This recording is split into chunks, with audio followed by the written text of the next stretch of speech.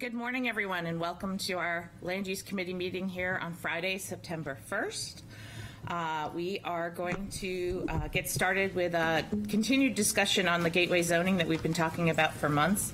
We had post, last meeting talked about a group of properties that would actually um, along the Lafayette and corridors uh, that would make sense to possibly move into the gateway. So I had post, put together that list and sent it out to the group to look at. I believe it's approximately 57 properties on that list.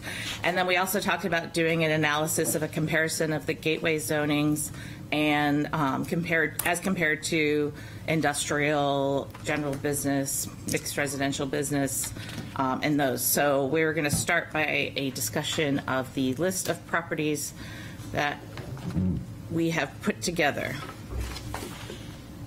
Oh, we'll start at the top of the list. Did anyone go through this, have any thoughts? I, my original thought was is that we would try to look at what might be, I want to say a slam dunk, but just it totally makes sense and there's really kind of almost no question that it should be moved into a different zoning.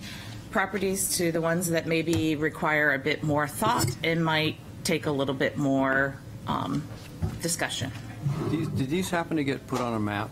Just, No, I did not I had the intention, but not the time. We, yeah, we. But we- that is my intention, to get on that. that that would be really helpful. Yeah. No, Uh, yeah. Just a question, not a criticism. No, no, a goal. It took Peter and I this long just to get what we got yeah. No, you. But we'll keep working It's on just- It's just hard to relate. Well, by- unfortunately, mostly just an extension of uh, Gateway. I mean, the Right, this we is, looked at. so- these are all the properties that we looked at on the map when we were looking at the map. I had written them all down and now I've just put But them like in a, uh, the Gateway Zone on Lafayette Road, I think we looked at just, right, extending, to a second lot deep was what the discussion was, but there were some other discussions about, you know, Mirona Road and Right. talking about the um, office research and where that lies along the bypass and along Woodbury. So we, our discussion went farther, so um, that's why I put in sort of sizes of lots, uh, their current zoning, and what we had sort of discussed as far as a gateway possibility, and then put the analysis of the two together so that we could really take a look at it. And I'm not saying we'll get this all done in one meeting, but at least we'll keep continuing the conversation until we get somewhere. Yes, Andrew?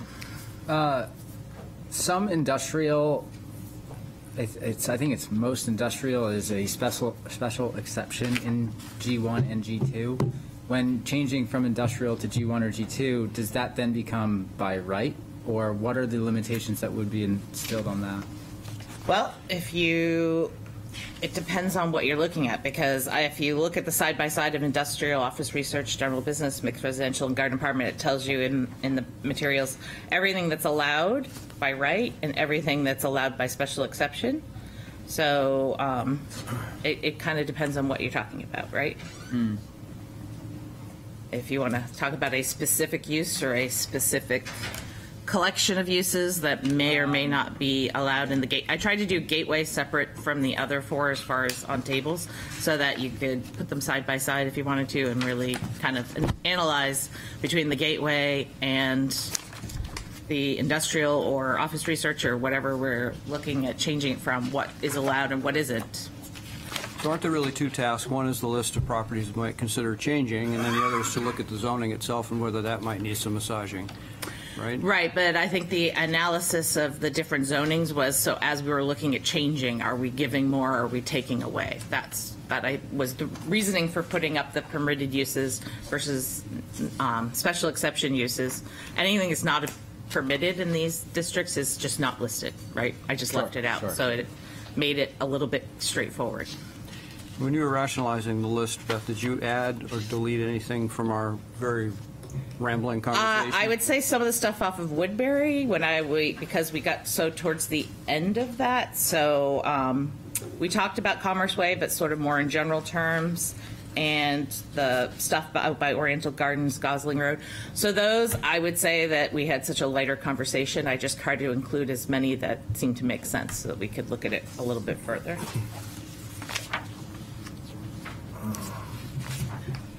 You know, um, I hate to rezone like, let's say Heritage Avenue, so that you can do uh, apartments, because, you know, the post office looked like a good opportunity for that. But then, you know, years down the road, that could just turn into a row of apartments, and you lose all the industrial. Right, we were only looking at sort of one lot farther down. I, I did put a question at the bottom, I think, about should all of Heritage Ave, because that was a question we kind of asked. Mm-hmm. Um, But it wasn't, didn't really, I didn't put all those properties on the list. I kind of just left that as more of a general question. I don't know, is that an issue if you sort of just zone one building?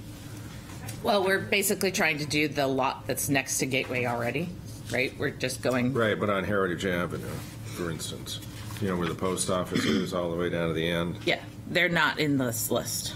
Oh, they aren't? Okay. No. Well, Heritage Ave, I guess. was Correct, there next, are, but- but it's the properties right behind Right, Lafayette okay. Road where it's Yeah, I know. That's, I would think that's kind of a given, that we're doing that. Um, It would seem, you know, that's not a stretch. Oh, look, you brought it up. Peter, could I bug you to make it the satellite for the hybrid one? Thank you. I think while he's doing that, I'm not sure how much of a presentation Howard has in our short time frame. We don't have any presentations, it's just this discussion. Just even on the housing manual and all that? He's just got a verbal update. Okay. I'm just wondering if it makes sense to, once these properties are all on a map, that we can have a more substantive discussion so we don't get sidetracked on, well, is this one in or is this one out? And I just, it's so helpful to have it on I. I think what would help is if you get some feedback for what, what represented on the map besides just highlighting the parcels. I mean, um, Existing zoning and parcels subject to, or being considered for change, I think, I mean, for me. yeah. But is there anything on this list that you guys just think we shouldn't even consider? I guess we could start there. Is there anything you've thought about since we talked about it? Because these are all the ones that we talked about, right? So Right. um, is there anything that strikes you as just, no, we shouldn't even talk about it? I guess we, we could start there and then we'll take some away and then we'll have less to look at, right? I don't Um, think so. My only consideration or my only call out would be, is it worth our time to include like the U.S. Army Corps of Engineers building if we know that in the next however long? I, I know this is like a future consideration, but that building's not going anywhere. The, the military isn't going to get rid of that building tomorrow. Um, I don't disagree, but as devil's advocate, we actually talked about whether or not we even needed office research in the city anymore. Right. So Sure. Okay, so it was just a change of zoning altogether. Okay, not for redevelopment purposes. No, it has nothing to do with redevelopment. It's just it's. I don't want it to be left out at like an island like the two MRB lots No, are yeah. on Lafayette Road now. I'd rather we really look at all of it inclusively so that it actually makes holistic sense versus just leaving a lot out because we don't think it will get developed. I, I would venture to say that the 2021 to 1601 Lafayette, which is the fringe of Elwyn Park, I think, is that right? Nine through fifteen. Is that what you're talking about? Uh, no, 18. Eighteen. Okay. Yep. I would be hard pressed to think that you're going to get redevelopment there. Um, you're going to get quite a bit of pushback from residents as well as a lot of individual purchases that would have to align. So I don't- I don't know if that's, those lots are very shallow as well. It's a main thoroughfare where access in and out would be very tough. You have a couple different signaled intersections. The DOT wouldn't be thrilled about any redevelopment there.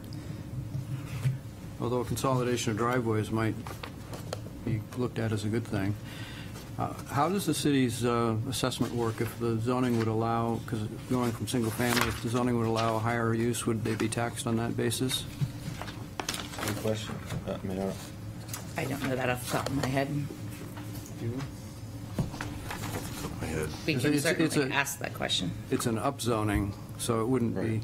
you know, what they're currently doing wouldn't be uh, not permitted, or, We can certainly ask the tax assessor to give us that information. So I will put those as a potential strikeout. Anyone else comments on, or agree with that, or disagree with that? Which ones, when when you were talking Lafayette, what were you? On the list, it's number Is 18. Is it from It's the a group of little orange properties. square up to Mc- McKinley? Yeah, I thought, I didn't think we were um, considering those anyway. We talked about them, so I put everything we talked about on Yeah. this list, right? Yeah, I So- agree. I don't think that side of the road is worth doing or rezoning. Yeah, It's all housing. Right, but does it make sense to have housing along that stretch of Lafayette? Um, Maybe not, you know, in the long term, we're thinking long term. It doesn't, doesn't say they can't continue forever, I don't know. but Yeah, I I think that's, that's a If tough sell. the reason I Yeah. asked about the tax question is if they're not going to get hit with a higher tax bill, then it- it, it's only an upside for the landowners. But if their taxes go up, it's not an upside. So it's actually number 18, because, uh, Yeah, on the list, it is 18. yeah, Yes. not 9 through 15. Yep. Know, He that's a- corrected me. I mean, that's a pretty well-established neighborhood. I Yeah, I think people have lived there for a long time. Yeah. People enjoy living there. That's why they currently live there. Right. It's on Um, Route 1, but so what, I guess. I would agree with Mr. Tellman about, does it make sense to have residential there? Probably not, but it doesn't always make sense to have residential where we have it today anyway, so it's not a this or that, it's more of like the feasibility of a future development, in my opinion. It's, we're not talking about a taking, we're not talking about get rid of your houses, we're just Yeah, talking yeah. about additional opportunities, so. I don't know. Yeah, it's- it's back to I the would- taxes. If, it- if their tax bill go up, would go up because of it, I wouldn't support it. But I if I it- guess, I don't know how the tax bill would go up.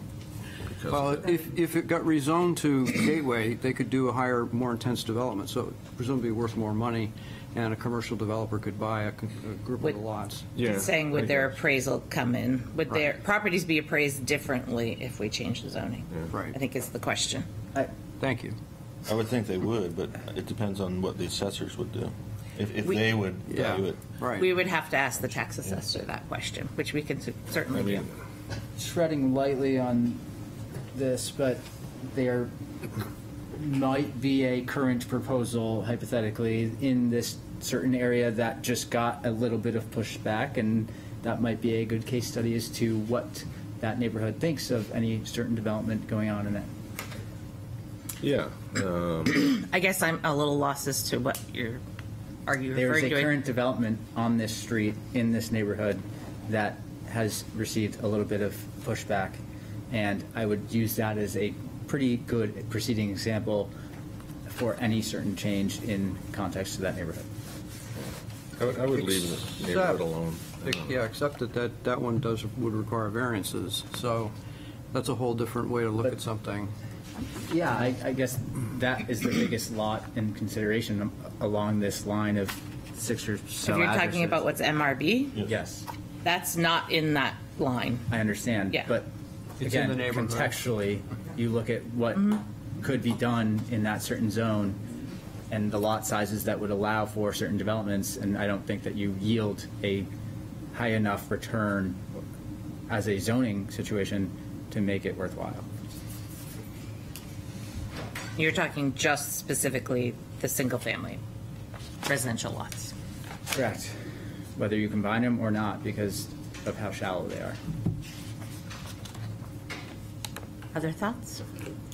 I, get, Okay. I just get nervous about changing any, you know, SRB, any, I don't know, creating a different neighborhood, you know, what I mean, uh, just because you used to live there, but then the lot next to you has changed, then it's changing. Um, that'd be my only concern. So we've agreed to take 18 off the list. Or do we still want to find out about taxes first? I'd like to know the answer to that question in any case, as we, as we go forward. Um, Yeah, I wouldn't, I wouldn't be in favor of putting any of those houses on the list. Any part of that neighborhood. From a land planning perspective, what Rich just said is true. You don't generally want to have a zone change at at the side lot line, but a zone change on the rear lot line is pretty normal. And you generally want to have similar zone across the street. Now Lafayette's a big street, so that, that's a bit different, but um, just as general land planning practice. However, we can get the answer to the question as well, so that we would know in the future, so. Because there's certainly other single uh, residence B uh, lots being considered along that road, such as a church, a dentist's office, and vacant land. So, you know, it's also, Is the hand on one of the lots? We put, um, that's the Westerly where his hand just was. right. What I'm talking about is closer to the high school. But they're, they're still, it's, it's single residence B going to something else, so. Sure. Uh, there's the church across from uh, McDonald's as well, that's still in, I believe, SRB. Yes. Yeah. Yeah, I mean, that's, I think, a better candidate for redevelopment than any of the single-family homes in that well-entrenched neighborhood there, you know? The uh-huh. church is sort of an island. It is an island on the map, yes, I agree. Is it on the list? I don't, I can't. It remember. is, it is number 22.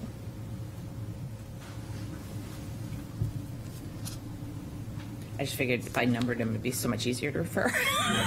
That's why I added that. Easier than using the map lot number. Right, exactly. If we use tax map and lot or addresses, they're all similar, so it's difficult. So, yeah, so we really feel 22 is, you know, totally makes sense when we're just talking about SRB to Yeah. a gateway.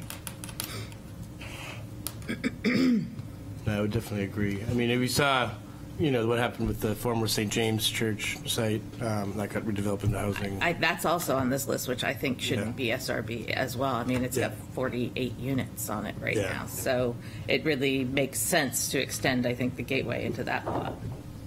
Do we agree on that one?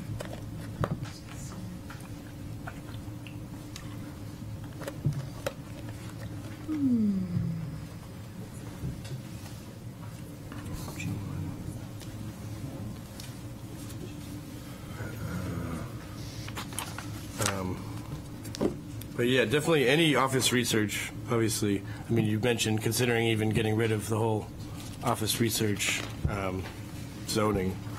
So I definitely, any that's currently in office research on our list right now, I would hope we consider, um, given the, that offices and industrial parks aren't exactly uh, being built or being popular anymore. What is number 27? Oh, that's the hotel on the bypass, Which one? across from the car dealership at the corner of Borthwick, I'm pretty sure. The Port Inn that's up for um, redevelopment? Oh. Am I Oh, correct? isn't that being redeveloped? It has a proposal. Yeah. It's not approved as of yet. It was, Yeah. I'm pretty sure that's just Still in initial. discussion. Yeah, it's just been in discussion. It hasn't actually gone forward, so, Okay. At least the last I knew. It's being studied.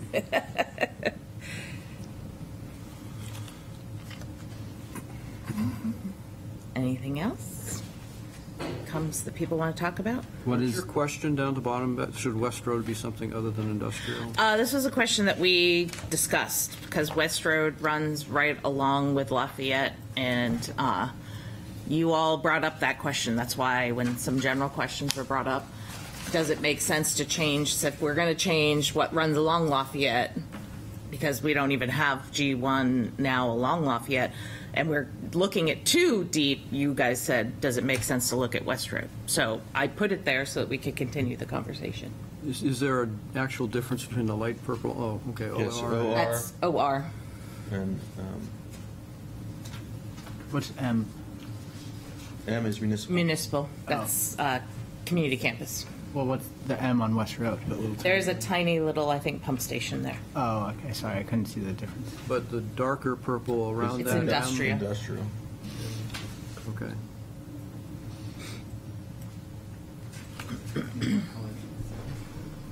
So yeah, so that question came up, so I didn't want us to not discuss it or keep discussing it since it was brought up by the group.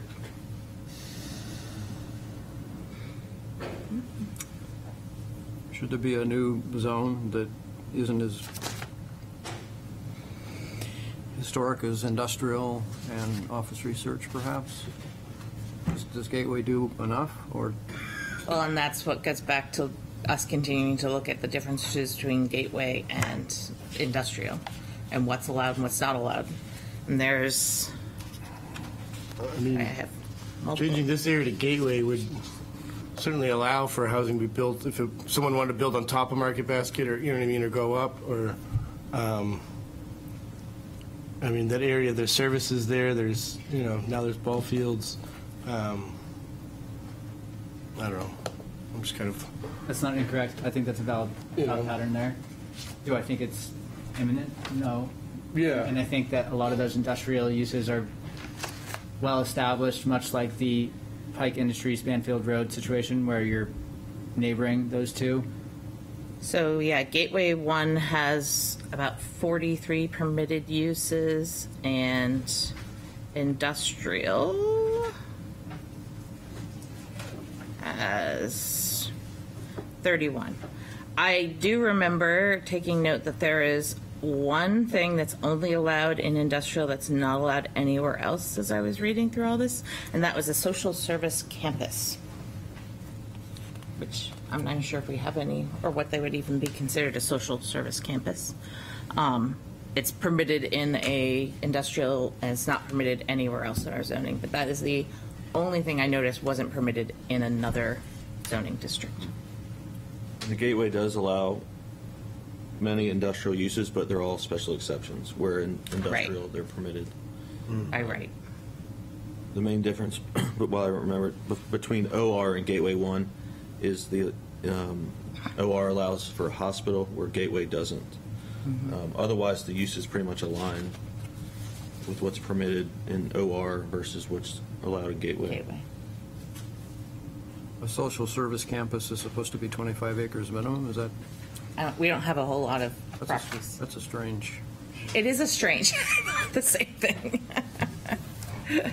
That's why I bring it up, because I'm like, it was just something I noticed was not allowed. It's very, I, I'm not even entirely sure if we even have anything that would, what's really funny is I was noticing in all of this, and I think I wrote it down somewhere because I found it odd, was the, um, fact that we have a water park, and water park, amusement parks, water parks, theme parks are not allowed in any of our districts. But we do have one. I Thought we should. Um, And, you know, and when I was looking at all this, the gap with restaurants, you either have a 50-person restaurant or you're 250, and there's, there's nothing for approvals in between, so um, that seemed to be a really big gap in my mind. Of something, if we're going to look at changing what these zonings are, flagging those things seem to be important to do so.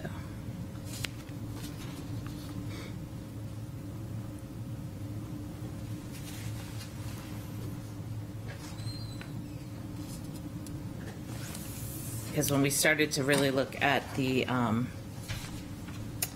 like Oriental Gardens, why is Oriental Gardens being a, um, OR, yeah. It's, it's in the office research, along with a lot of the Commerce Way office buildings, which OR and G1, as you point out, it just gives them a little bit more flexibility if you take away the OR and move it into G1.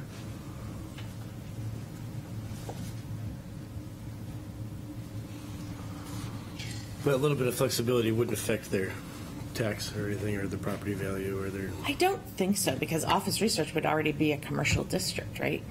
yeah. So you probably already have a higher base value for assessments would be, I would assume if we're going from like office research to G1, that it would be a similar base value because similar things are allowed. It would be whether or not you're going from a residential district to a business district, Yeah, that there yeah. might be the jump and change. But I have wrote that question down, so I will definitely ask. Yeah, I think it's important. Important for us to know as we start to analyze and look at this and talk about it.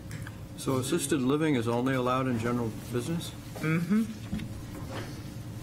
That could be a, It's, yeah, it's, I want to say, hang on, I keep going between two different documents here. I believe it's by special exception in other ones. In the gateway, In the gateway, yeah, gateway allows it by special exception. allowed in the char, uh, well, CD4 and CD5. Yeah. So some of the character districts, keep in mind, this isn't all our districts either, so, um, What are the criteria for the special exception? Are they onerous? no. They're not hugely onerous, no.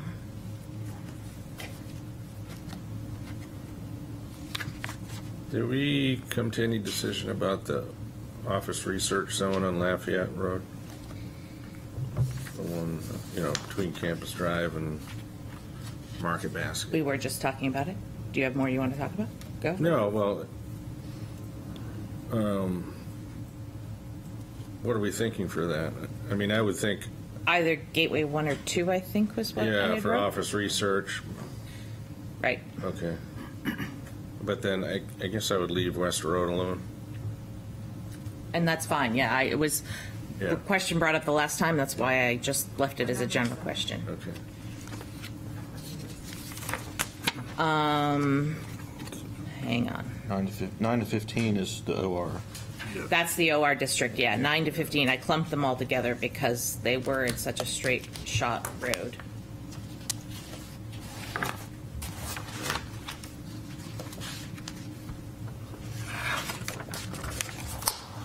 So we definitely want to move those to G1, or at least keep those on a green lighted sort of list to continue to look at. So is the orange G1 and the other G2, or what- vice versa? Uh, Warren, th- up here is G2, and then. And that's G1. G1. So you could go either way because it goes both directions.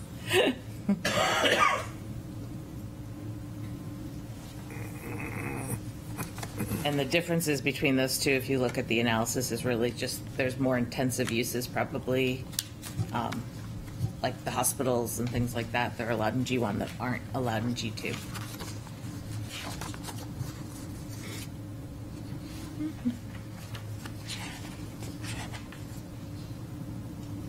So hospitals, but what about medical? Medical outpatient is allowed, Mm-hmm. Is not allowed? allowed Is Is allowed. allowed, in G2? in both. In both. Oh, Yeah. I was thinking that as well, as medical kind shifts to a smaller footprint overall. But a standalone hospital is only permitted in one district, and that's OR. Okay. OR. So we would have to, if we deci- made the decision to look at getting rid of that, we'd probably have to obviously look at putting hospitals into either another district or, you know, we'd have to shift things around. Conference Find a way to centers? accommodate I that. find it interesting that G2 allows for a restaurant, like takeout only, fast food, or 50 person, but then G1 is the 250 occupancy. You, right, that's where I s- noticed the They real almost split. don't. I guess okay. I guess G1 allows takeout only as well, or fast food. I didn't see the fast food, and so I was like, that would be just as. You can do a more intense restaurant in G1 than you can in G2. Yeah. Yeah. But I For see you example's sake, um, Yeah. are you familiar with the emergency room in Seabrook that Portsmouth Hospital just built? No, Okay. I hardly ever leave Portsmouth.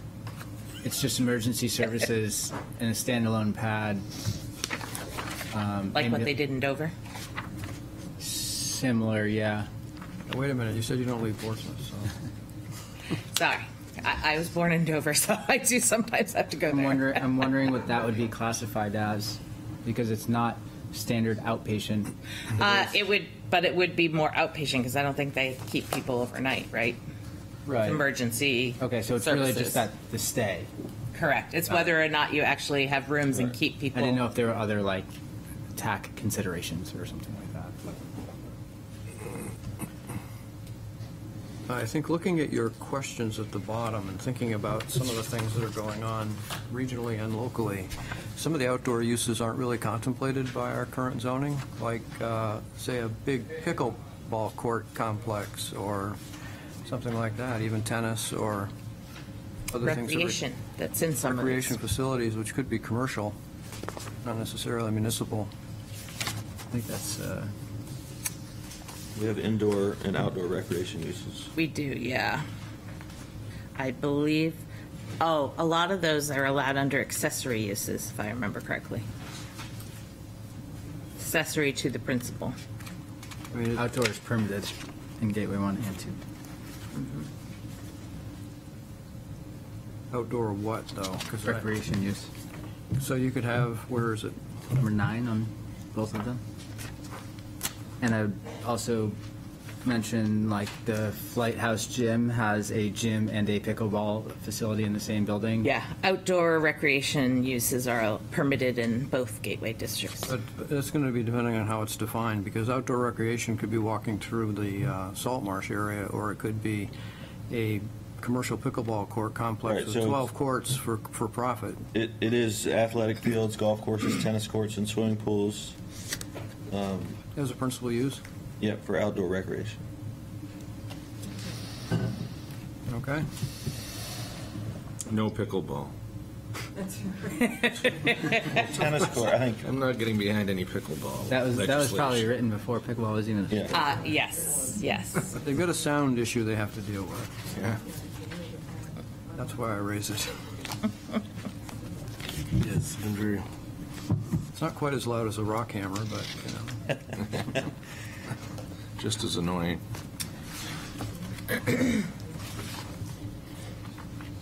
Other properties on the list that we want to, I mean, we I had can't- originally I can't started tell without with, a map. Sorry. he wants, has to look at the map. Yeah. Even though we looked at the map the last time. I time. know, I Come know. Come up with the list.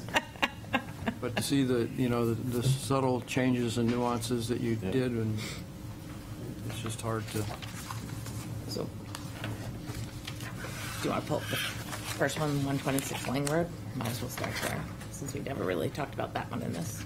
it does look like a uh, rather discontinuous group of colors up there. So right there, you're, Was it, um, this one? That one. This is behind Service Credit Union? yep. So that's number one on our list. So that's the one that's in garden apartment mobile home and whether or not we'd want to switch that one to G1. And when we look at the analysis between the two, um, it certainly seems like you're allowed to do just as many, if not more, things in G1 as you are in the, obviously, the garden apartment and mobile home. I didn't really notice anything other than a mobile home park. So that's G1 right now beside it, right? G1, yeah. Yes, yeah. Makes sense.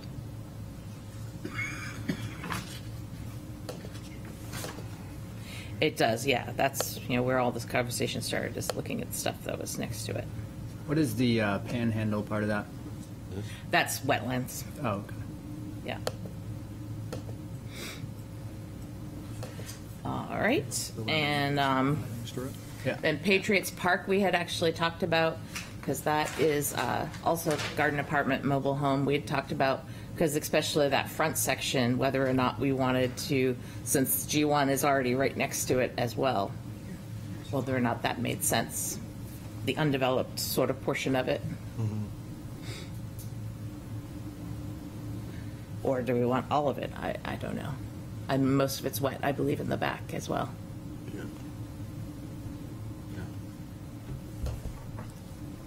I think the front part definitely makes sense. Yeah, I think the front.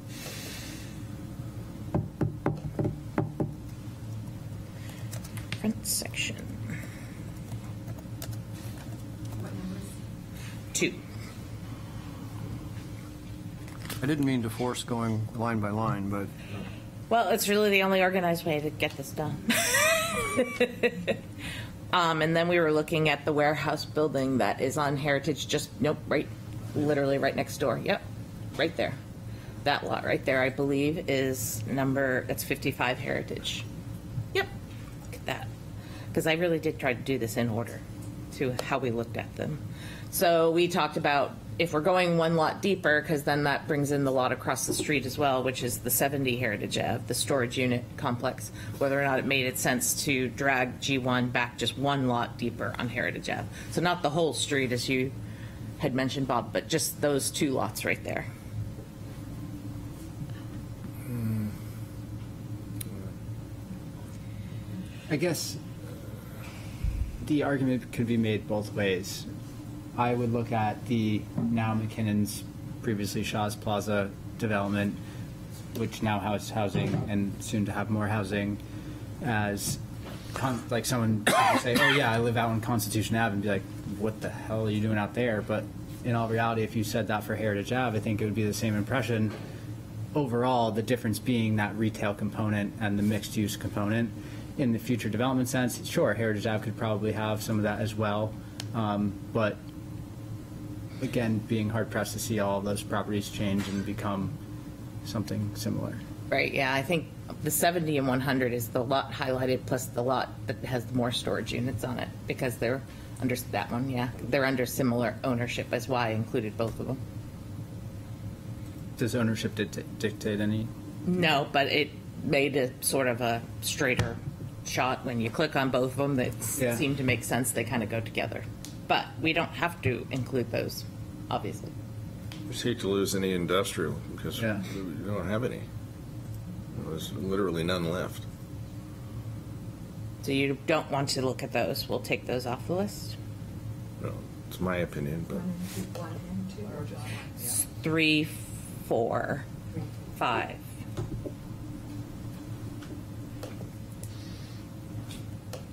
Anyone else? I Thoughts? just wonder if that, if this starts to highlight the question I made earlier about whether we need something, maybe not called industrial, but Industrial a trust. transitional use, because I think we're seeing, like, office research isn't really a big thing anymore, and even office buildings downtown are having a hard time.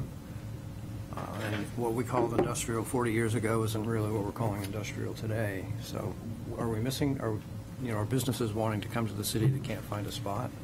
Yes. We need to find So maybe we Places put for them. those on the list that we continue the conversation and we take a specific look at what are the different business uses between a gateway and industrial. sure.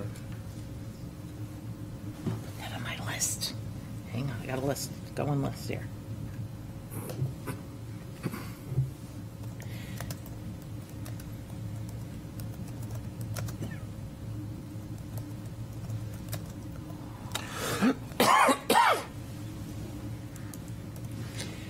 All right, back up the page. Um, so Constitution Ave, this is the, um, yeah, yes, thank you. right, also right behind G1. And we were looking at the possibility of going, I believe, across the street as well. It's, uh, I believe, both of those, so. Yeah, there's, so there's technically two properties in the one that's highlighted, and then there's that property which is already partially G1, and then the rest is not, because that's water country. So the question is whether or not those two um, make any sense as well. Or what are our thoughts around those two properties? Being added to what they're already surrounded by, which is G1. So water country is G1 and industrial? Well, it- correct, it's G1 up front and then it's industrial. So we talked about just Industrial, making the whole lot one. That was a big loss for, of industrial land when they went in. Do you think they're going to change?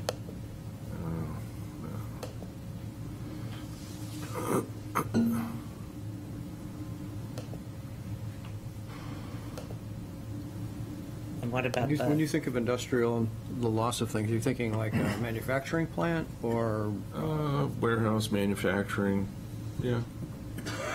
even It's not warehouse? always traditional, you know, like what we thought of as a machine shop or something like that, but there's a, there's a big call for industrial space and no one can find it. even like distribution space, overhead doors, loading docks, Yeah. things to that effect that allow companies to have an address here if they're not a retail component. Like the new proposal out of Pease? Um, yeah, that's one. That's one concept certainly. Apple? Another one Familiar with is that? What what was that? The- There's a new distribution center going in at Pease. Furniture distribution? Yeah, but I don't think that's, I'm not saying instead of, I'm just saying as an example of a use that you're talking yeah, about. I guess. yeah. I mean, that's that's Or, uh, one scale of it. There are a lot smaller scales as well. A lot of e-commerce distri- distributors, or um, po- like Port City Pretzel is a good example, where it's a small food vendor. They just needed uh, warehousing and inventory space, overhead door for distribution, and then it's you know that's a Yeah. very light use to me. Uh, granted, they're not all like that, but that property that's But there currently- are still machine shops and Yeah. manufacturers. Lay in down the space. area um, that are looking to expand or buy their own place or. I'm, se- I'm seeing a scale difference between some of these with machine shops and other things. Even Port City Pretzel probably being smaller in terms Yeah. of truck traffic than some of the larger. But assembly plants and that sort of thing, that's, that's a, that, that's been a more, more of a hot use in recent years. Yeah. Yeah, it's like the anticipation of, okay, if that becomes a warehousing building and then there is some opportunity for residential, now you have competing uses and all of that truck traffic or the distribution component becomes uh, very litigious, I think, in my Yeah. Opinion, because of that truck traffic. Well, I where- sort of saw that on Banfield Road. Yeah, I was going to say where previously we've been driving those trucks intentionally that way. Um, Granted, projects got done and they have houses there now, but So what I hear from all of you is a concern that maybe the ones that are currently industrial properties, we should pull out to a separate and do a separate analysis of what it would mean as a difference from industrial to gateway. Yeah, I, I kind of feel like housing is more compatible with office use or the office research zone and the uses in it than industrial. Doesn't always mix well. Yeah, right. Well, and part of it, I think, is a problem with the label, because industrial classically means things that are definitely not compatible with housing. Yeah, yeah. But I think some of the uses we're talking about could, on a certain scale, could be compatible with nearby housing, not necessarily next door, but nearby. So that wouldn't include the Pike plant, but Yeah, and with that said, I mean, obviously, the overarching goal of this meeting, this committee, I think at the very moment, is the creation of housing or the ability to create housing. But with that said, the Gateway also has a lot more conducive uses for some of the flex spaces that we're talking about, some of the more dynamic, quote-unquote, industrial, light industrial space. So obviously, my brain goes to like, well, how can we create housing but in a not competing area? But at the same time, this gateway component has so much more ability. It's so much more breadth flexible. to it. Um, but obviously, if you give a mouse a cookie, people are going to go and try to create that housing, and and that's where you're going to get a headache. I think when we originally created the gateway, it was a chance for housing to come where there are strip malls, and Yes. that was the idea. And it's starting, right? We're actually starting to see that and see little pocket communities and neighborhoods being built. So the idea of extending it is to try to promote the idea that more of that has the flexibility to happen. And it's funny your comment about you don't leave Portsmouth. Sometimes in my day-to-day business, where people come to town and they want to move to Banfield Road, and I'm like, whoa, like what do you mean? But in all reality, you have to kind of like step back and say, well, it's a beautiful house in a small little neighborhood. It's two seconds to this, two seconds to that. Like, you do have to reset yourself and reset your perspective on that because ultimately, people have so many different backgrounds. We welcome people from all over, and so that could be driving it rather than just the demand for housing itself. It's like maybe they don't want to live in a Lincoln Ave style neighborhood or a Market Street style downtown neighborhood. So there are those uh, preferences as well. And I apologize, I have to step out. I have a funeral I have to go to, but um, I'll, if I have more notes, I'll send them to you and. I appreciate it. The conversation will keep going. Good to see you. We're just starting to try to segregate what we're going to talk more about and what we think is easier to move forward with. Um, okay. So I've basically just started to sort of put a, a slow down section together and a section so that we can start to divide this just into maybe two lists to continue the conversation. Um, I know Campus Drive, when we're talking about community campus, that's really been moved to municipal at this point, so we might just take that off the list. Um, we have the two MRB lots that uh, sit next to, Westerly? yep. We have those. Oh, yeah. I swear them I had really the is- Westerly the on here. address Did is I miss 000? putting that on here? We're only zoned MRB because that's what's Westerly sitting is on. 2075. I think I missed it. Did I? You know, I am not a perfect person, although I do strive to be a perfect person every day. I will add that in. It should have been right in this section. clearly I somehow missed it. Which one has the address 000 Lafayette? Uh, that's just the vacant lot that's right next to it. Yeah. Yeah. What number are you on? I'm sorry. Uh, we're looking at 1670, yes. That's what we got. I want to be sure. I'm like, I just hit the wrong. Those are under common ownership too, aren't Yes. they? Yeah. They are, yes. Which is why, if they have common ownership, you try to look at them together. It's kind of a dumb zoning because it's only zoned that way because there was a business there. Yeah. So it was carved out. It should be SRB.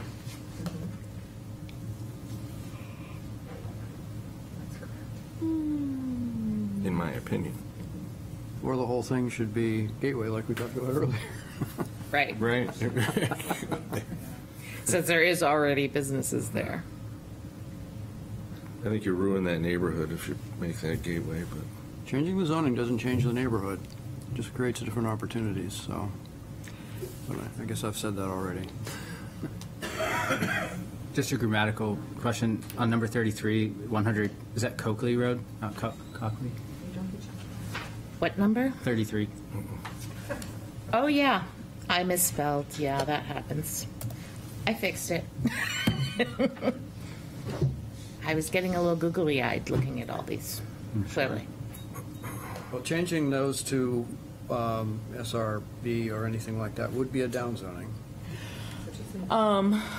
Yeah, but I mean, I think we should take the westerly and then on the other side to continue G1, but that's my, my thought on all of this.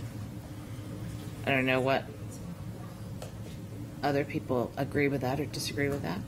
Not that this, these changes are imminent, but should we wait for that proposal to be not active? There isn't anything right now. I think they're coming back with something. They got denied. Yeah. They, they were denied, yeah. And anyway, this discussion doesn't affect that. They can still proceed. Yeah, because they're already there, or they already came forward.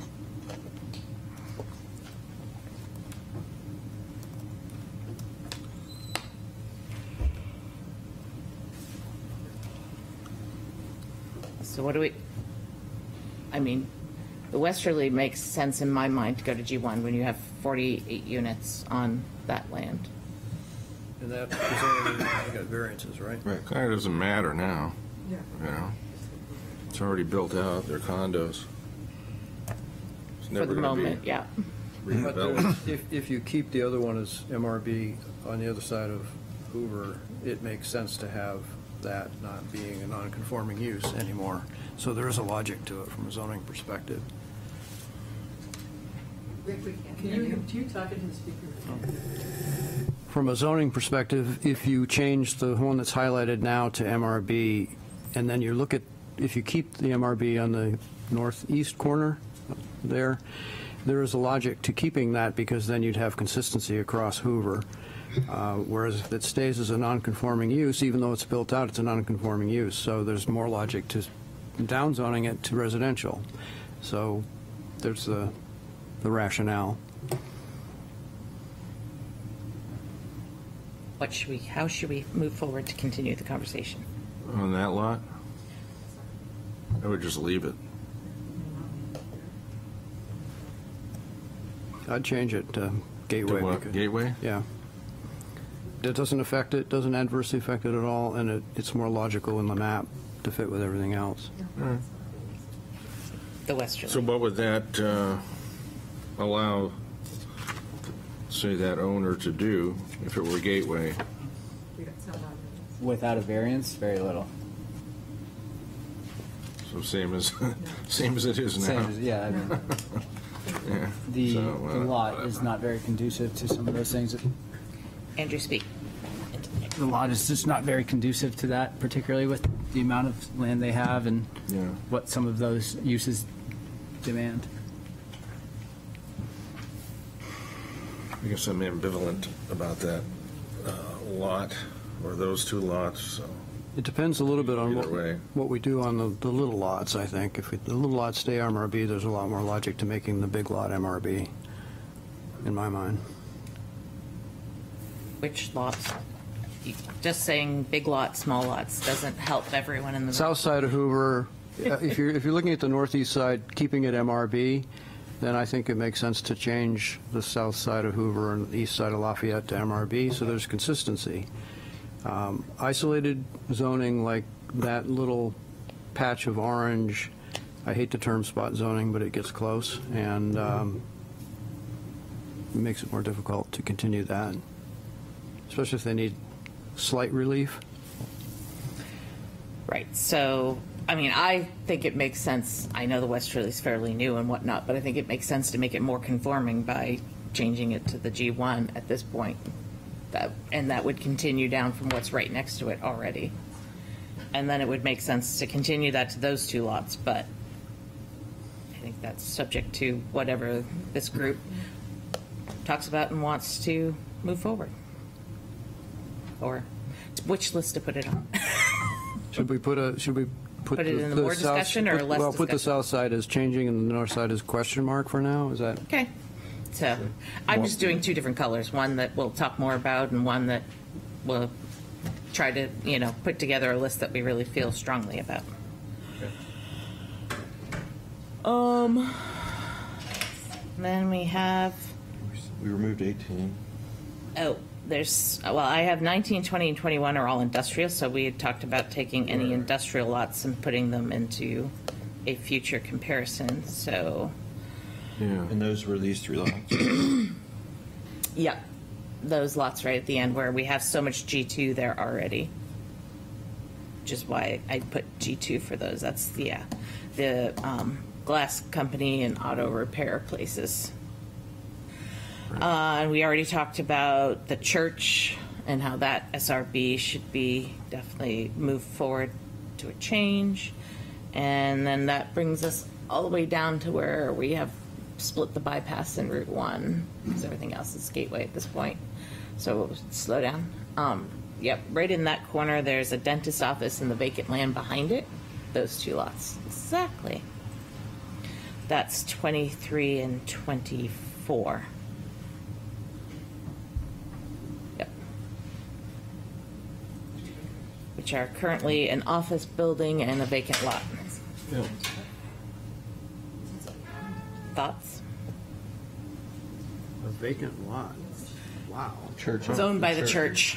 Oh. The church owns it. Which church? Greek. Oh, the Greek church. Yeah. I'm okay with those being uh, So we'll gateway. continue the conversation, but put them on a positive list. Yeah. Yep. Positive versus negative, keep looking at. All right. Uh, next was the car dealership, so we go down the bypass at this point. There was a car dealership that we talked about because it's an industrial and GRA, which I think it's at the corner of, um, it's way down. Oh. At Co- Cottage, there we go, right there on the right. Corner of Cottage and the bypass, that purple. Yeah. That one. That's that. That is number 25. I get there eventually.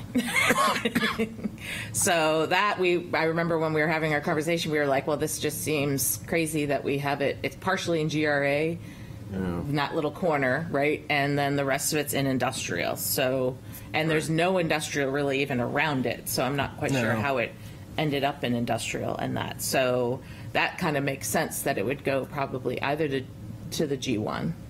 Yeah. All right, that makes sense. I don't hear a whole lot of complaints about that one. Um, then next was right across the street at the medical office. Nope, across Cottage Street. Yep. It was a GRA, that's number 26, 185 Cottage Street. And, uh,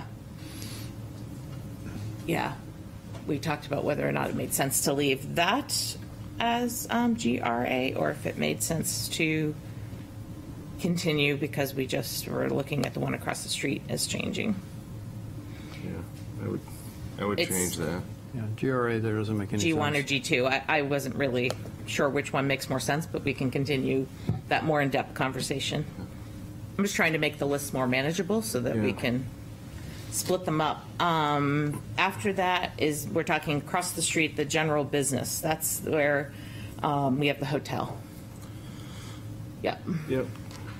And we have general business, and that was one of the reasons why I added general business to our analysis. So, because we have very little general business left. We actually used to have a lot of it downtown before we moved to the character district. So as I was looking at it, I thought, does general business really make sense anymore? I think we really should probably look at uh, the general business versus the gateways and see whether or not they're just so similar that general business, because there's very few lots in our city that still have GB designations. So I thought as a whole, we could take a look, separately take a look at, at that as well. Hmm. Anyone agree, disagree? I think it makes sense to look at it like that because general business sounds to me like a, more of a historic classification. It is, And because it was very much our downtown was general business before we moved to the character districts. And all of a sudden I realized we still have some outside of downtown that hasn't, I just think it's more of a cleaning up to compare and see if um, they're pretty equal, then it makes sense to move our general business that's going on over there. You can see it's around the traffic circle. It's like pretty much the only place I found it anymore. I'll do some more digging, but I don't think I found it anywhere Which is else. ironic because you would imagine a traffic circle to be rudimentally the gateway to our city. So, So yeah, so I- as I started looking, I how's said, that here, for we did talk technical a zoning lot. approach. And a lot of these are residences here, along here. Right, yeah, that is a little neighborhood, Mm-hmm. and it's in general business, yeah. I did not put all of these, for the record, on this list, but I wanted to make sure that I mentioned, as I was looking at it, I thought maybe we should separately look at GB, because then it also, I did put on the list when it goes up, yeah, up along um, that whole area there. And those, uh, we kind of skipped the Borthwick properties. Yeah, we have Well, the- those are all OR. right? yeah, we have a bunch of OR that um, we can take a look at because we've already decided. OR should be anywhere it's there, I guess, near the hospital. Mm. But I think the near the hospital, if you went to Gateway, there's more short-term medical uses that could actually also. With the Be a possibility. with the exception of the Liberty Mutual parking lot, is Borthwick entirely built out at this point? I don't know, but redevelopment happens sometimes too. So I think we have to think of it not as whether or not it's built out, but whether or not something else could change. Another one of our general business ones once we get down there. Oh, I never moves, that would make it. Oh, yeah, and That's here's the kinda my Coakley point, Road. is like See, I you did can- add the Coakley Road and all those general aren't- businesses ones here. I didn't think I did, but I did. Look at that. 33, 34, 35, 37. I was smarter than I thought. Um, if, yeah, if you want to go up this, yeah, I, I, yeah, all of those are the ones that are GB. They're like in the 32 to 37 kind of time frame. We go up the Spaulding Turnpike, we're at number 38, and that's where we get general business and SRB. Is 38 the Mazda dealership? It's 120, so click on it. What's the address say? It's 180, so it must be co- come Need closer to change that to traffic. SB for skinny business. Skinny business. What's that one? That's one. That's 120.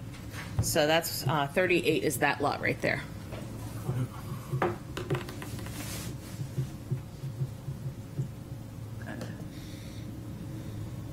Because it is general business. And what is, SRB. what is that, what's in that SRB zone just beyond it? I think it's all wet. There's a, a 300-foot power line easement. That's right. Yeah, it's mostly a back of power line uh, easement. There's almost nothing in there. And probably never will be because of the power line easement. A lot of it's wet too, I think, isn't it? There is a lot of wetlands in there as well. Yep, it's fairly wet.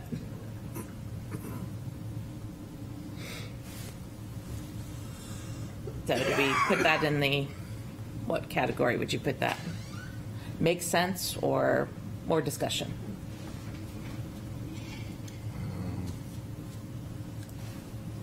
I think we're looking at, G- all GB makes sense to look, talk about, right? I think so, yes. Are there any other intermediary zones that would be more suitable for the transition from GB to something else? That's and maybe that can be part of our conversation, yeah. About that.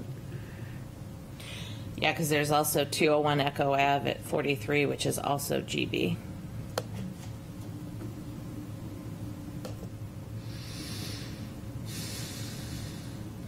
Yep, that tiny little one, which I think actually is a house. it's two units. And then we have the, the other car dealership is actually in Gateway. So then we actually moved to Gateway So, okay. all the way through that. And so then we back into Oriental Gardens is where we go after the Turnpike and the general business aspect. And that's when we talked about um, more office research and whether or not it makes sense in these. So on, let me just back up. On 200 Spaulding Turnpike, Yep. were we advocating changing the general business to one of the G ones or twos? Possibility. It And was not, also. not the SRB portion of that lot? We don't have to change the SRB portion. We could leave it SRB. Okay, it's Um, just, it is We were one going to look lot. at general business as a whole as to see if what has Right. currently general business makes more sense. Yeah, So uh, we could look at both. It, right now, we're just talking. So we can look at keeping it Gateway and SRB. We could look at maybe Gateway 1 and Gateway 2. What would be, Um, what or would be the Gateway reason to leave that as SRB?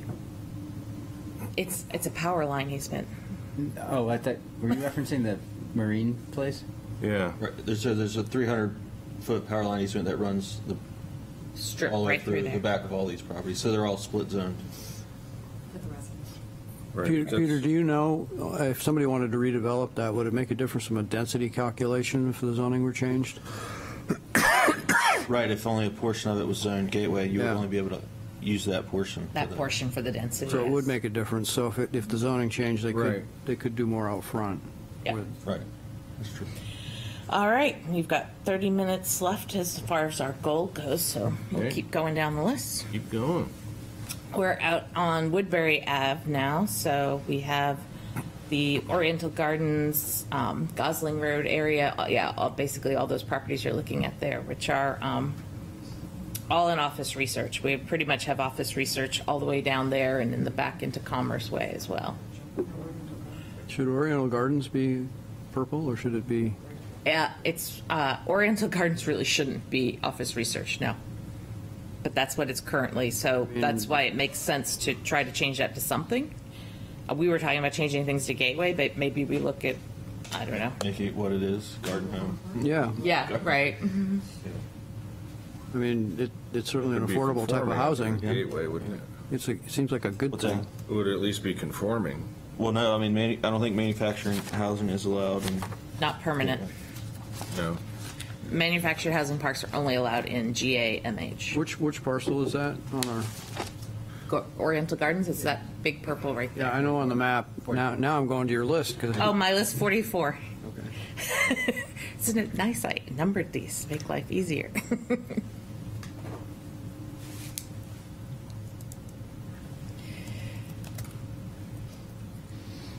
So if it became Gateway, that might mean a change to Gateway to allow It'd that be more use. conforming as Gateway than it would be as Office Research, that's for sure. That doesn't make any sense as office research, other than. and It if- doesn't. And what's the, what's the out parcel, if that becomes, what is it, yeah, right there, what's that one? That's OR. Uh, is that on the list? What, what is it? It's 114 Gosling. Yeah. I'm not sure what that is. Um, It's not on my list. not the Clearly, I gas- didn't it's go not the gas station, find is that. it? No. no, it's, um, Oh, isn't that It's, the, uh, um, propane, maybe, right? no, isn't that they the have- gym? No, I think they're. This is. Um, I think there's a gym, I'm an so indoor lost right gym now. there. A lot of, isn't it Big like thought an it was, industrial uh, building? fuel. there's a big, lot of trucks in that area. Yeah. Yeah. There you go. Here's the little man. I forget what's there, but, uh, no, it's across the street. Go buy it. Yeah. And then, It's uh, uh, Ryder, right? Yep. Oh, here, here Oh, we yeah. go. It's not on the list. We certainly could add it, but, um, yeah, I would add that. And isn't the other one in the animal hospital? On, uh, The animal hospital is. 150? that was what, Gosling? 114?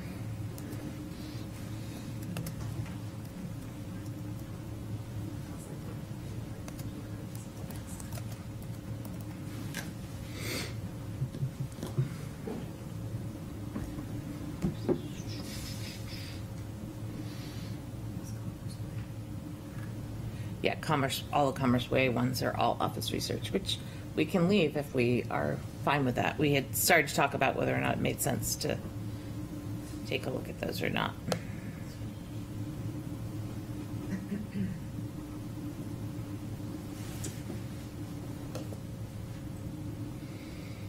Hmm. And I think there was that one lot that's um, behind Oriental Gardens that's W-I-O-R and O-R. It's in both. Uh, Right there. I believe so, yeah. Oh, yeah, Yeah. split. See, it's in the O-R and that lot, um, which got parceled off of public service, so. Not Yeah, it's sure. all wet down. It's got a at good least near portion of it. Commerce Way and Oriental Gardens.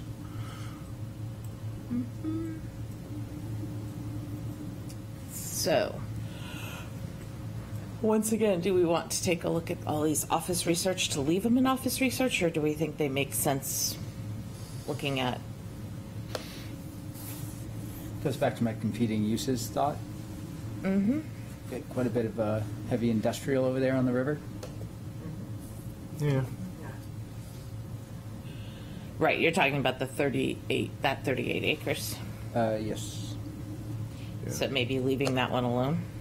Well, the, the office research, though, is, uh, if you go down Portsmouth Boulevard, Yeah, it abuts housing it does. in a hotel. Yes. So, Yeah, I'm pretty sure the hotel is definitely not allowed in office research. I know there was talk of taking those tanks down at one point. On, uh, Gosling. Picking up on what you said earlier, Beth, I'm thinking office research, general business, and gateway all need to be looked at together, I think, because of the conversation we're having, and, mm-hmm. you know, do these zones fit? And then we can see how they fit the ground as well.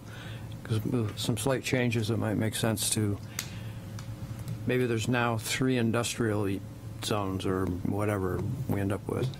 Yeah, we have two industrials now, waterfront industrial and just regular industrial. And office research and general business. and- Maybe there's just too many. And I think the last thing we really um, started to look at was the, uh, Oh, You Thousand Mark? 1,000 Market. yep, 1,000 Market because it was in the OR, Do you mind zooming which in? a has? G2 right across the street. Do you mind zooming in, Peter? He's zooming out. Uh, I gotta zoom out first. The other zoom. Yeah. I guess that falls in the category of changing all of OR to G something. One or two. Right, right. So it's, it's an OR that probably needs to have more discussion and uh, talk about it. Yeah. And then the, the Rite Aid, for some reason I put the Rite Aid in here and I think it's because I, It might be split Uh, it's on zone. the other end. I, yeah, it's right there at the corner. I So can't, nope, that's, that's next corner. what is that? Is that the Is it corner? the Oh, yeah. short That's So it. It's Oops, sorry. currently in, So there's a little bit of MRB here, and this has, has weird zoning. and I think that's why I put it on the Split, list. Because it seemed to be, Has a sliver. it's split zone. Yeah. And that was why, I was like, there was some reason why Yeah. it brought my attention to, I was like, well, maybe we should talk about that. Because it is split zone between MRB and Gateway, and it, I'm not quite sure why it got split zone like that. It's- it's what's a little yellow on the corner? That's municipal. Yeah. Were there houses on that before? Is that why? There's one house in the The houses are across the street, I'm pretty sure, on Granite Street. I don't think there's anything to the left, There might have been one where the CVS is. maybe. But once Rite Aid got built, Or maybe Rite it- Aid. if Rite Aid is there, I think it got rid of all of it. So I think just moving that all to the Yeah. G Gateway District makes um, sense. The G1, it's G1 and MRB, but I think just G1 makes sense for that. We've made it to the bottom of that list. That's pretty amazing. So um, we've changed the list a little bit, and we've kind of put it into two categories, something that seems to make more sense and something that might need more conversation. So I can split this up, and um, that conversation can continue next time. Go back to our agenda. Um, We also had started to take a look at home occupations, and home occupations, um, obviously, home occupation one and two, we looked at last time, and then Peter was nice enough to get us out the, um, some other jurisdictions, and I thought that that was extremely helpful to start to look at some of those other jurisdictions and what they have in there. And I'm just wondering if people have any thoughts of like a direction of one specific other jurisdiction, or if you want to pull things from each of them, and we can take a stab, Peter and I, of pulling something together and what, like, what you appreciate, don't appreciate, thoughts? Provoking conversation. What's our goal of, with the home occupation? To create more? Uh, we were asked by the city council to take a look at home occupations for things like having um, students come, a couple of students come Oh, right. for um, whether it be art lessons or music lessons or coding. Le- we just something, you know, tutoring of any sort of kind. Yeah. Um, so we're because it's not allowed really anywhere, and to have people actually come to the home. And some of these give us good ways of, of looking at possibility of doing that. So that was where the conversation started, and I think that looking at some of these other ones, some you know, they they run the gamut. That's for sure. Some are more way more detailed than what we have in our definitions and whatnot. So I just wasn't sure if there was a specific one that anyone sort of gravitated to as you liked the way it was set up or didn't.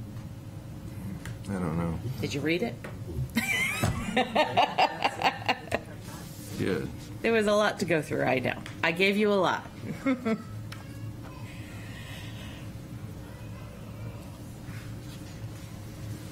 So are we looking at tweaking our home occ? Right, and we were looking for other ideas and direction to give us in which to go in as far as, so we have Rochester, Concord, Manchester, Nashua. Am I missing anyone? Yeah, I- I put them in alphabetical order. So we have Concord was the first one that's on here. I think, you know, minor home occupation is, uh, kind of makes sense. They go into a lot, a lot of details. I mean, I think about my childhood, my mother ran a beauty shop out of our basement all of my growing up years, right? That was something that was allowed for her to do, but I'm not sure that we allow that sort of thing now because it requires clients coming and visiting the home. And that's where we don't seem to have any allowances for things like that. So, What if folks read these and send in notes, things you like, things you don't like? And then we can come up with a draft to work from. Compile. I think that's. compile what you like from each one and what you don't like, and then we Yeah. can, Peter and I can work on a, That's a um, good idea. a new draft, whether we completely ditch what we've looked at already and start with something new or not. Okay, There are two uh, details that I liked. I think this is Concord, in the Concord version. Yep. Um, I like the minor verse major, and I like under major, which it, it starts on page one and goes into page two.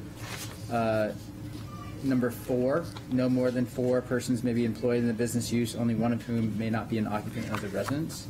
So that is a good limitation. And then uh, under number 10, letter E, use, uses which generate more than 20 vehicle trips per day based on criteria published in the latest edition of Trip Generation by the Institute of Technology. That's a pretty good constraint, um, I think particularly for the use that you were describing, um, which is not atypical and would, I think, align with a lot of the Portsmouth home-based occupations. I actually like the fact that it, it changes with the actual standard, right? If the standard changes, it's following a standard that sometimes gets updated, so that's always nice. Um, Anything, any other comments? Or, I'm happy to wait and take your written comments if you want to put something together and get it back to me. I can ask the others to do that as well, as far as, you know, look at a specific jurisdiction out of all of these. If Concord is the one that everybody really likes, we can take a look at how adjusting ours to that, or um, if some of the others. Okay. Yeah?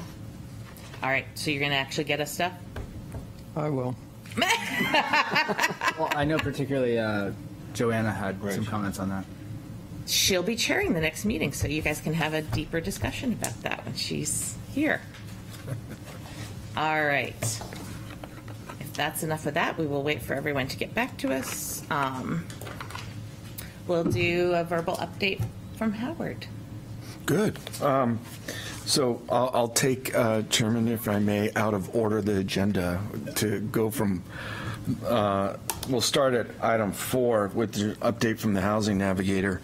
Um, Just a reminder that the, the deliverables, purpose, and um, my role is, is grant-based, and under those grants, uh, there's, there's two. One which is to, to uh, create the um, uh, position, which I'm in now, currently under contract uh, as the housing navigator. The second is the housing opportunity grants uh, that, that happen. And under those grants, there's allowances for um,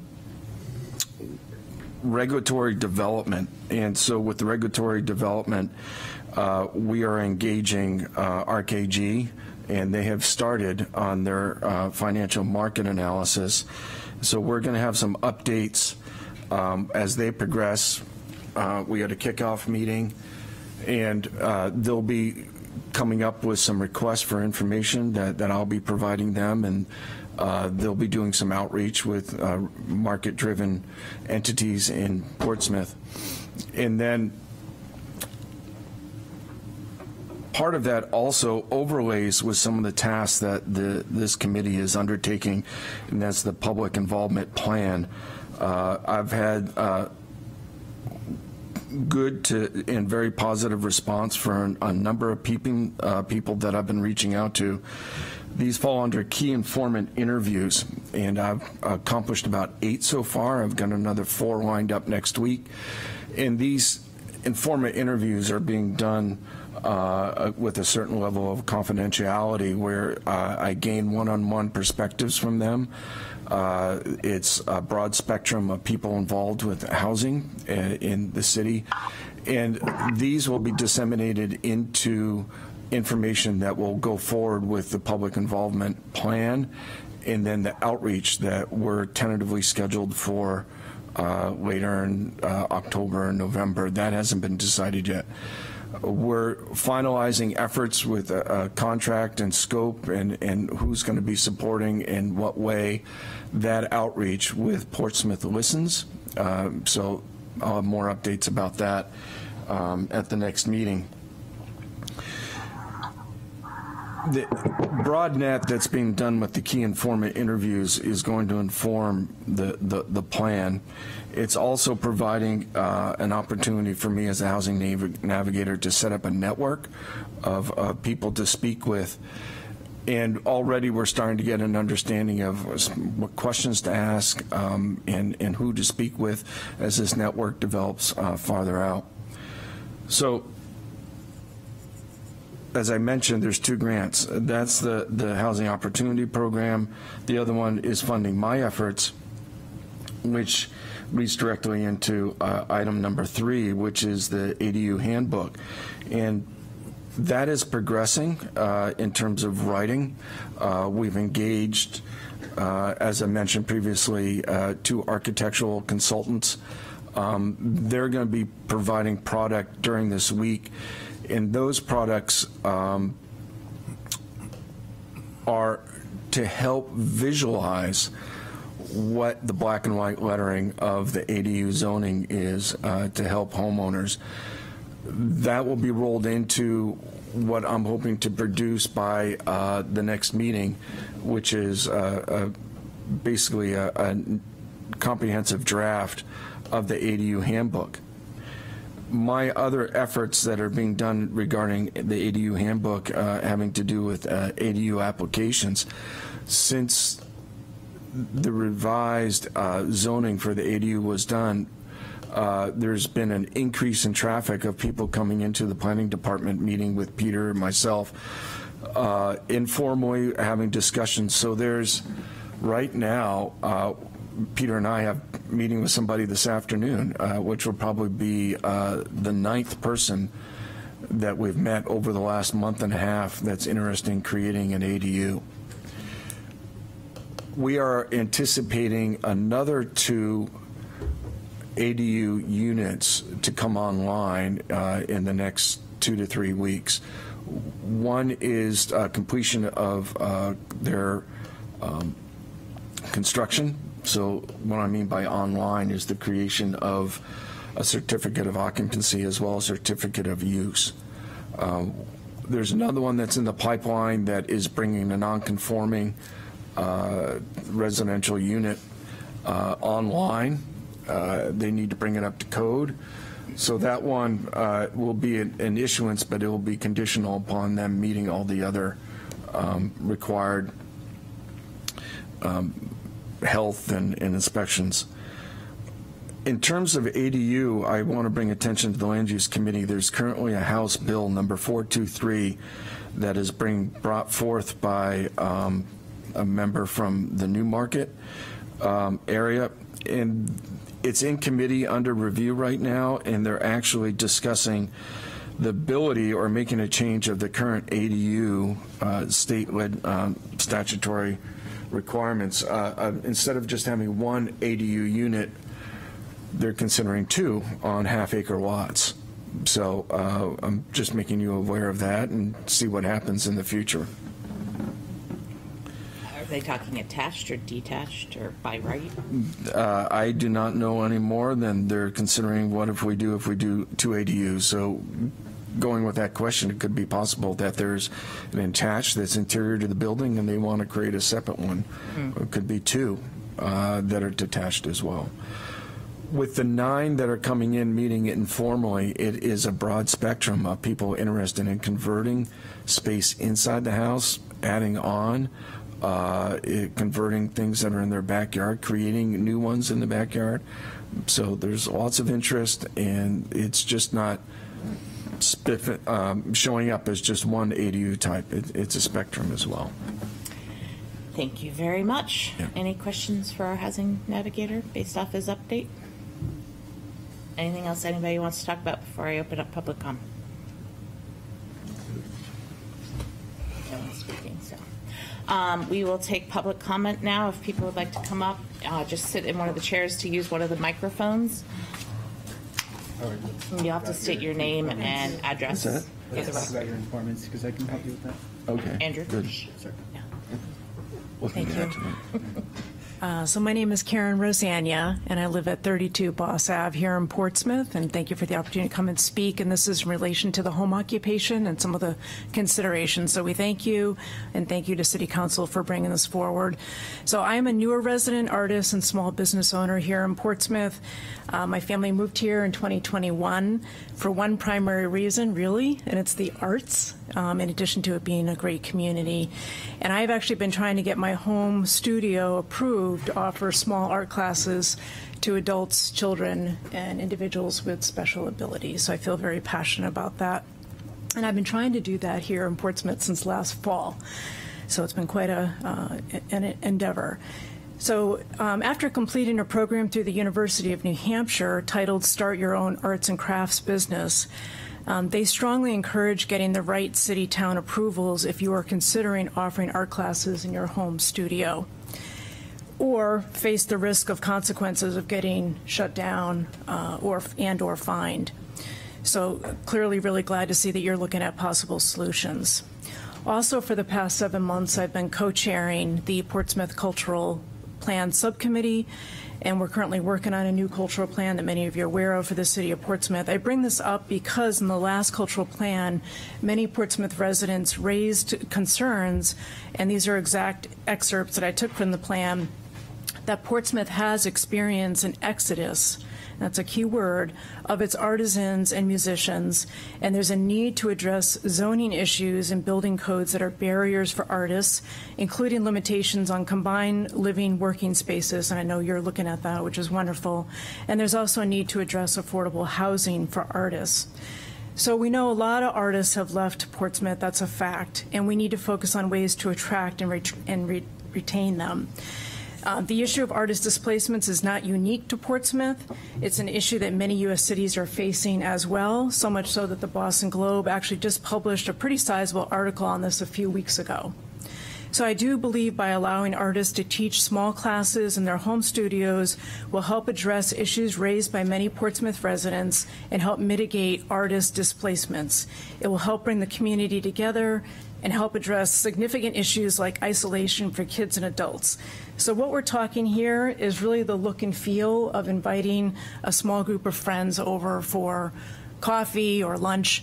This is not a big production. I see no disruption to a neighborhood in terms of what I'm proposing. And if we look at other cities, which thank you, Peter, for pulling that in, I did review that. I thought it was great to look at other uh, cities across the state. I see some allowing four pupils, and I even saw one that allowed up to eight. I do believe somewhere in this range would be good for Portsmouth. The current proposal, and I know just through some of the additions, I know right now it's zero, um, but even the current proposal, looking at two pupils or students or customers, or however we want to define them, in my opinion, would be inadequate, um, especially for our instruction. And then current hours is another thing I would just suggest that we look at right now for home occupation. It's listed as 8 to 5 p.m., and I don't believe that that accommodates working adults or working parents trying to bring their children to art classes within the 8 to 5 p.m. time range. Could we consider longer hours, maybe just a few days a week? And parking, I know is certainly an issue in a city like Portsmouth. Could we consider adopting language already in existence in the current Portsmouth zoning ordinance amended uh, May of 2023? And I have the section here, 10-1113-42, um, which already outlines acceptable parking for home occupation. Basically, I would, I would be able to put it in my driveway as long as it's appropriately screened with the right landscaping. I think that would be fine. Um, There's also, family daycare is allowed in, in my zoning, and I think most zonings across Portsmouth. And there too, I think there's four spaces that are allowed, um, two of which would be for the homeowner. So I think we have some parking language already in the current zoning that we might want to consider. And I just wanted to thank you for the opportunity to be here today. I think um, artists have been the lifeline for the city of Portsmouth. It's why I moved here, and I think it's by making some of these changes, we can um, retain and attract artists to Portsmouth moving forward. So thank you. Thank you. Anyone else? Hi, I, I'm going to speak to the same issue as Karen. Hi. I'm a little nervous. Don't be. We're all just friends here. Oh, good. I still didn't bring my reading glasses. Nope, just start with your name and Okay. your location. And I I wrote my thing down. Is this on? Mm-hmm. Okay. So my name is Sachiko Akiyama. Thank you for the opportunity to speak. Um, I'm here to address the same issues that Karen is speaking of.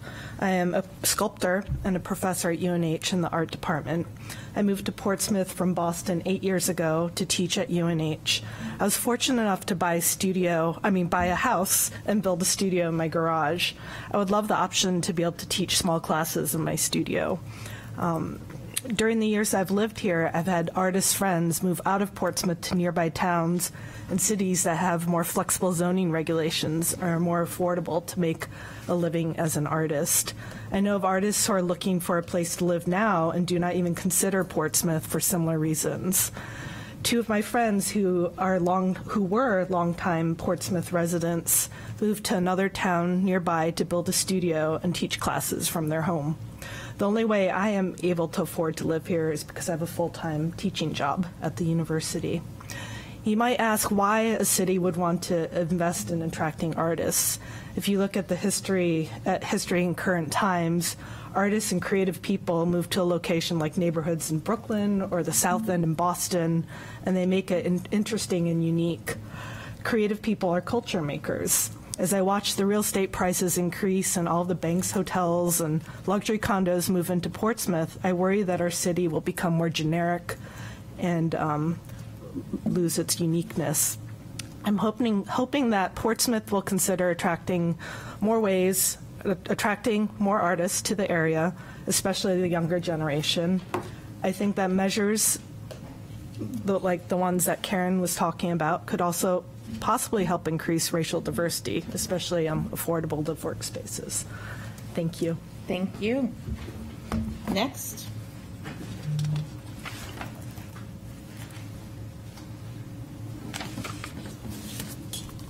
Hi, Elizabeth Bratter, property owner, 159 McDonough Street.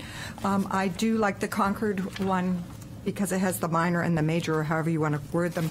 I, I live with a man who drives around and sees opportunities where money could be made. We've had a lot of at-home businesses. They've ranged from used car sales to selling track, selling um, trailers out of our home on the waterfront, which was legal. We got a permit for it. Tractor trailers were able to be brought in to do this. I was horrified. Needless to say, it no longer goes on. But when you're looking at home business, it is wonderful to support the arts. But if the arts is a dance class that has quite a few children, I um, used to drive my grandchildren to someone's home, and there would be 20 cars parked outside before and after class. The kids would get dropped off. Then you would wait for the time for your class to start.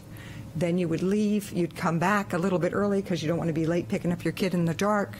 And your those 20 cars parked in this neighborhood right by their house. So parking is a big issue. Trucks are an issue. If you have a home office, you might have a small business where things are delivered. In my case, it was trailers.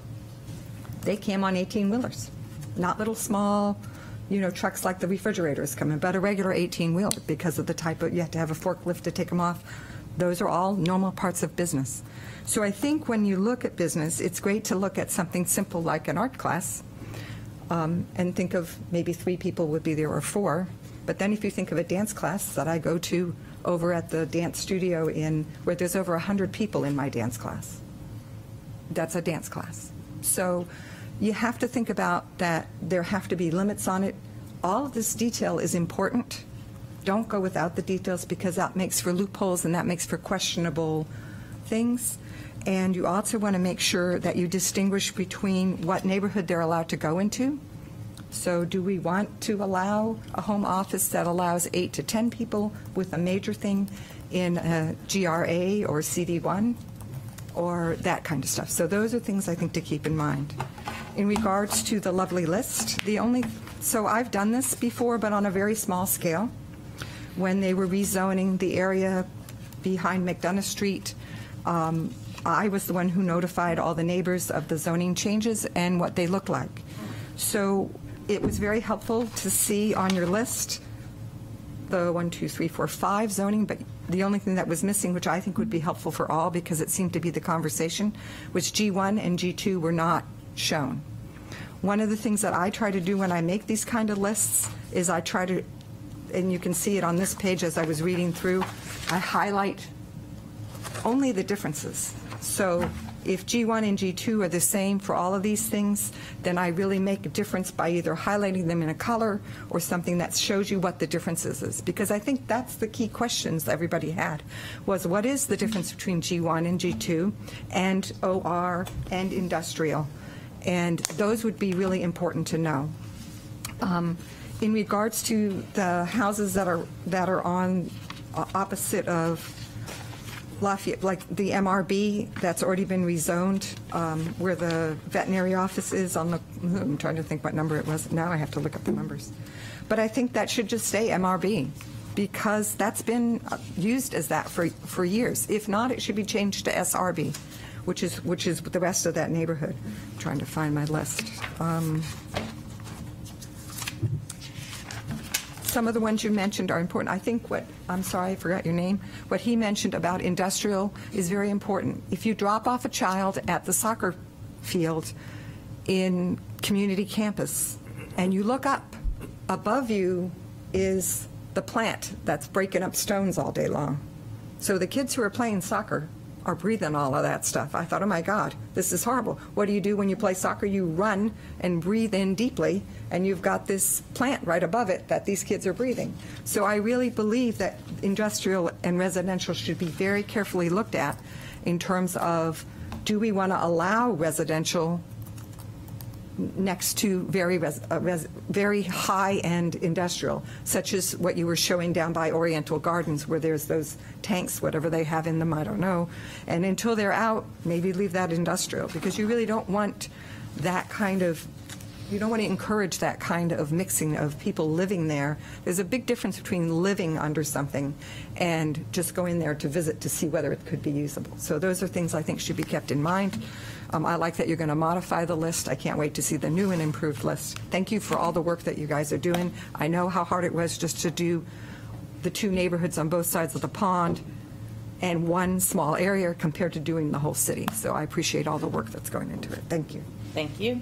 Next.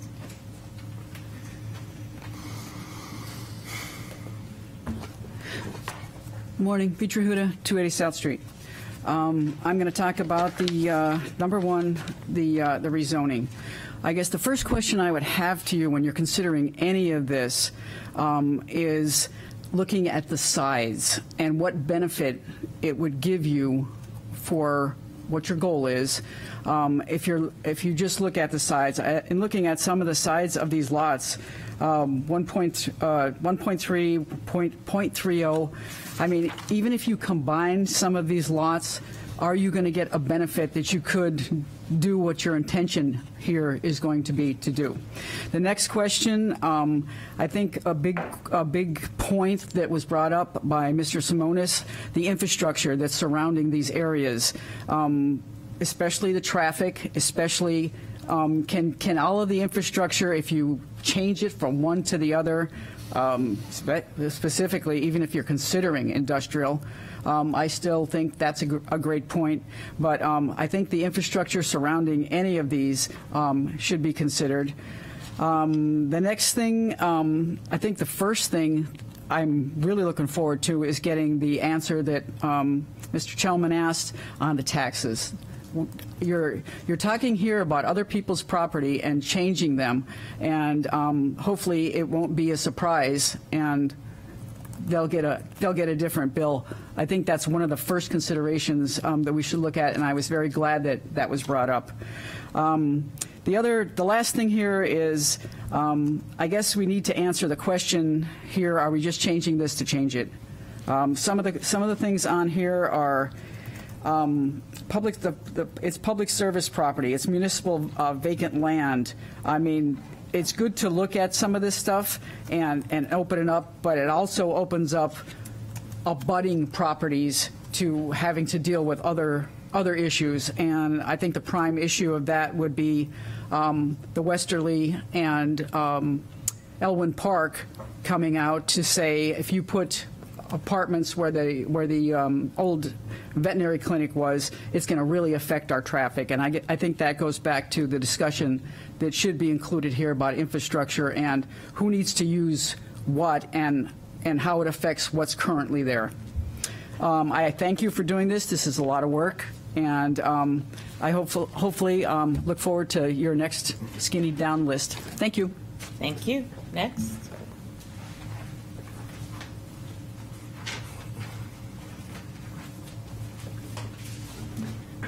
Hi, my name is Liza Hewitt. I live at 726 Middle Road. Um, I'm just going to speak more from a resident point of view. I, am not a zoning expert by any means, don't even understand half of this, but I'm willing to listen and kind of consider what you're talking about. Um, I guess my question is what's the ultimate plan here? Um, kind of piggybacking a little bit on what um, Ms. Huda said. Um, I thought we were talking, having a discussion, because I do come to all these meetings, so I do kind of follow this. Um, I thought we were talking about increasing housing, but it seems the discussion today has moved into way more than than housing. So I, I guess I'm just a little confused about, you know, what the goal in all of this was.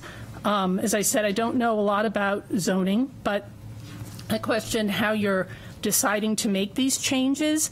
Um, you know, are you following some kind of system? Is there a criteria here for considering these zoning changes? Um, I have to admit, again, as a resident, it se all seems a little random. You know, we're looking at this property. Oh, let's change this to this. Oh, well, we could consider changes. And it kind of feels like an eeny, meeny, miny, mo approach to zoning. Um, and, and so I guess, you know, getting back to that criteria, do you, do, like, is everybody on the same page here as to why you're making changes, how you're making changes, what you're considering in the changes? Because you know, as a novice here, it, it doesn't seem that way. Um, I also have questions about at what point you're planning, and hopefully you are, um, to bring in the businesses and the residents who own properties in these areas for their thoughts. Um, I thought that you had hired a housing person. It, it sounds maybe not like that considering what Mr. Snyder just went through, but I thought there was a consultant that was doing a lot of work around this housing and what's needed and, you know, what Portsmouth needs and looking at all of that. And don't you think they should be involved in this if indeed the ultimate plan here was to look at increasing housing? Why aren't they sitting at the table? Um, you're talking about a lot of zoning changes. At least it felt that way to me. I mean, changing almost everything up and down, you know, all of Lafayette.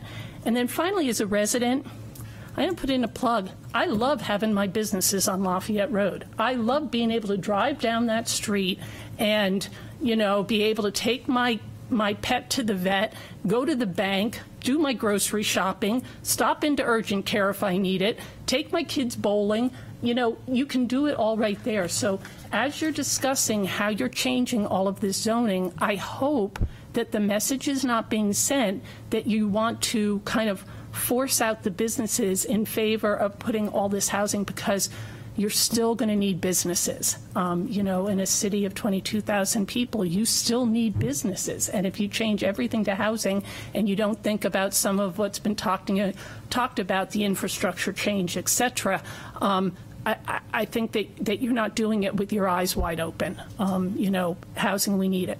Everybody agrees that to that. But what are we sacrificing for that? I think that needs to be much more of a um, of a conversation here. So thank you very much. Thank you. Anyone else? We have one. If you're on Zoom and you'd like to talk, please raise your hand.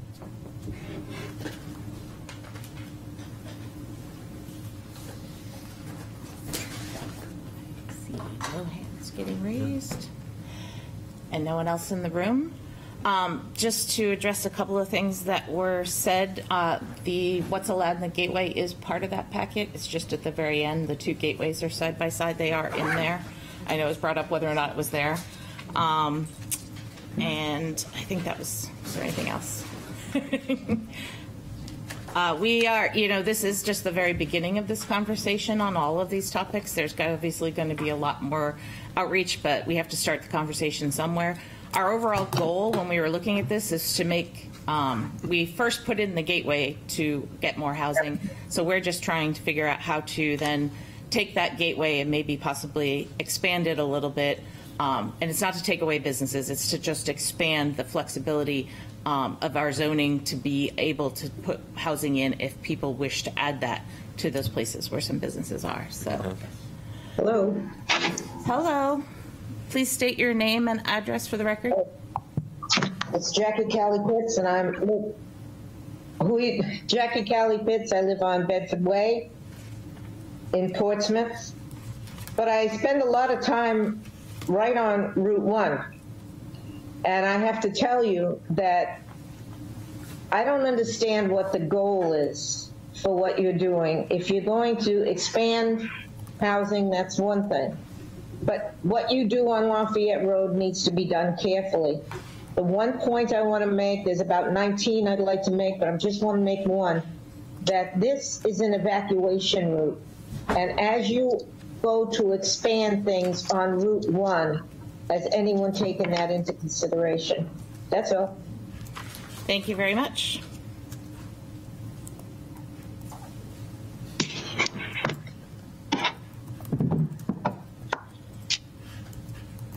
Sorry. Anyone else have anything else they want to say? All right, our next meeting is October 6th. Um, I have asked our Assistant Mayor Kelley to chair it because I will be out of town. I will try to listen in if I'm able to, but um, otherwise, thank everyone for coming, and I hope you have a great Labor Day weekend. Bye, everyone.